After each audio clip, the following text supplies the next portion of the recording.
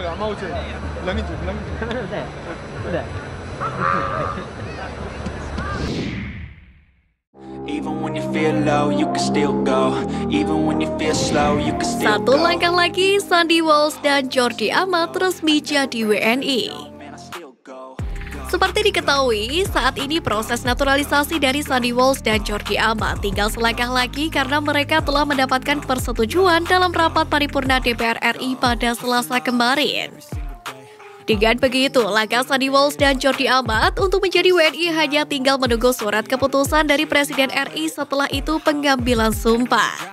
Namun, untuk pengambilan sumpah buat jadi warga negara Indonesia sangat tidak memungkinkan dilakukan secara langsung di lokasi, di mana sumpah WNI untuk Sandy Walsh dan Jordi Amat akan dilakukan secara virtual. Zainuddin Amali mengaku telah menjelaskan kepada pihak Kementerian Hukum dan HAM terkait masalah tersebut.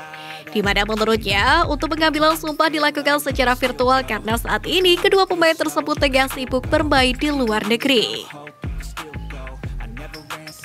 Meski untuk sumpah akan dilakukan secara virtual, tetapi Menpora belum bisa memastikan sumpah itu akan diambil kapan. Sebab untuk proses naturalisasinya masih akan ditunggu hingga sebuah benar-benar selesai.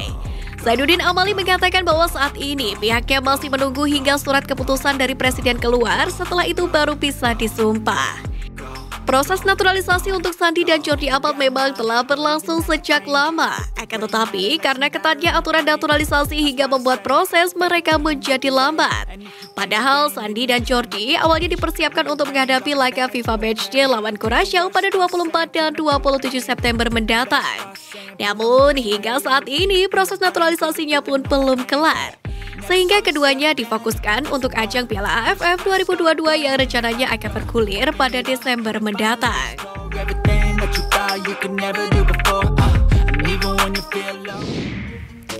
Sintayong dapat julukan baru di Korea. Pelatih timnas Indonesia Sintayong kembali menjadi perbincangan di media-media Korea Selatan. Di mana kiprah mantan pelatih timnas Korea itu selalu diberitakan jika ada agenda-agenda bersama dengan timnas Indonesia. Media Korea melihat antusiasme masyarakat Indonesia kepada Sintayong.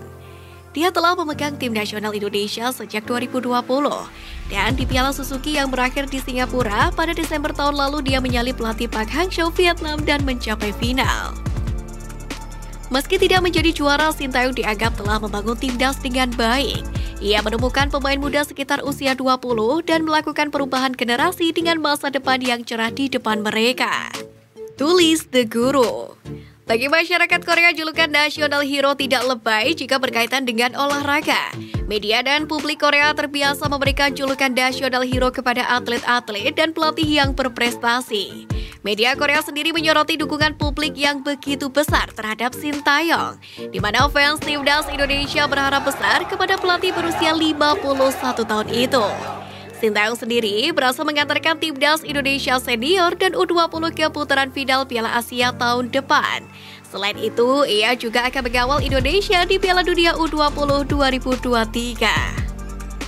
Terdekat, skuad asuhan Sintayong akan menghadapi Piala AFF 2022 yang akan digelar pada akhir tahun. Sebelumnya, Sintayong berhasil membawa timnas Indonesia lolos ke babak final dengan mengakui kemenangan atas Thailand. Piala AFF sendiri dinilai sebagai trofi paling mungkin didapat timnas Indonesia karena hanya berskala Asia Tenggara.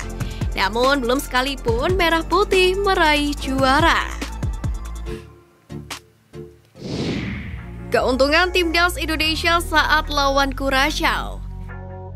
Timnas Indonesia akan menghadapi Kurasyao pada pertandingan uji coba dalam agenda FIFA Matchday periode September 2022. Pertandingan Indonesia versus Kurasyao akan digelar sebanyak dua kali, yakni pada hari Sabtu 24 September dan hari Selasa 27 September mendatang. Dipilihnya Kurasyao sebagai lawan uji coba oleh Indonesia memiliki dampak yang positif karena setidaknya memberikan tiga keuntungan bagi tim merah putih. Keuntungan pertama, pertandingan melawan Kurasyao ini bisa dijadikan sarana yang baik bagi Sintayong untuk menggugur dan menguji kekuatan timnas Indonesia di level internasional. Pasalnya, Kurasyao sendiri bukan lawan sembarangan. Saat ini, negara yang tergabung di CONCACAF itu diperkuat oleh sejumlah pemain yang berkarir di Liga Inggris dan Liga Belanda. Kemampuan individu dan pengalaman pemain Kurasyao ini tentunya harus diwaspadai oleh pemain Indonesia. Keuntungan yang kedua adalah pertandingan melawan Kurasyao ini menjadi kesempatan bagi timnas Indonesia untuk naik level. Timnas Indonesia sendiri saat ini berada di peringkat ke-155 dunia atau terpaut 71 peringkat dari Kurasyao, yang mana kini menempati ranking ke-84 FIFA. Kemenangan atas Kurasyao di FIFA Matchday tentunya bisa membuat ranking Indonesia di FIFA bakal melonjak drastis. Lalu keuntungan yang ketiga, laga Indonesia versus Kurasyao ini juga dapat menjadi kesempatan yang bagus bagi Sintayong untuk menyeleksi pemain timnas Indonesia jelang Piala AFF 2022. Seperti yang diketahui bahwa Indonesia membidik juara Piala AFF 2022 yang mana akan digelar pada 20 Desember 2022 hingga 16 Januari 2023 mendatang. Itu artinya uji coba melawan Kurasyao ini sangat bagus bagi Sintayong, yakni untuk menilai para pemain yang layak diboyong ke Piala AFF 2022.